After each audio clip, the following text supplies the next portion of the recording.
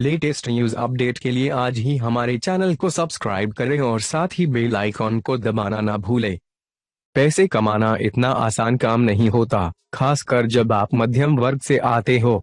आज हम आपको ऐसे शख्स की कहानी बताएँगे जिन्होंने बचपन में ही किताबों से दूरी बना ली और जूट के भारी बोरे उठाने लग गए।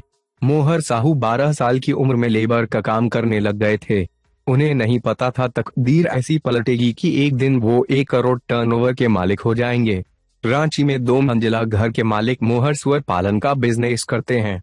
उनके पिता रिक्शा चलाते हैं और माँ भुने चावल बेचती हैं। पिता के ऊपर चार बच्चों का भार था। वो रोज़ाना सिर्फ़ दस रुपए कमा कर लाते थे। साहू ने बताया कि मेरी माँ दो या तीन रुपए तक रोज़ाना फैमिली इनकम में जोड़ती थी। जब मैं पांचवी क्लास तक पहुँचा तो मेरे पिताजी ने मुझे फ्री सरकारी स्कूल में डाल दिया। मैंने जैसे तैसे सातवीं पार की, लेकिन पिताजी आगे का खर्चा नहीं उठा पा रहे थे। मजबूरी में स्कूल छोड़ना पड़ा। बारह साल की उम्र में लेबरिंग का काम करने लगा। रोज़ाना के काम से मुझे दो तीन रुपया मिलते थे। छह महीने लगातार लेबर का काम करके साहू ने रिक्शा पर्यवेक्षक में जॉब शुरू की। साहू इस बात से खुश था कि उसके सैलरी से पचहत्तर रुपए महीना किराया दे पा रहा है। तब से साहू ने सोच लिया कि वो कैसे भी करके साल में तीस रुपए सैलरी ज़रूर बढ़ाएगा। मोहर के ससुराल वाले सुअर पालन का काम करते थे। उन्होंने उनसे सुअर पालन करने की सलाह ली।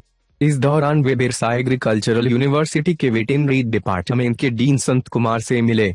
साहू ने सुअर पालन व्यवसाय से जुड़ने की ट्रेनिंग ली। अपनी बचत से इकट्ठा किए पैसों से दस सुअर खरीदे।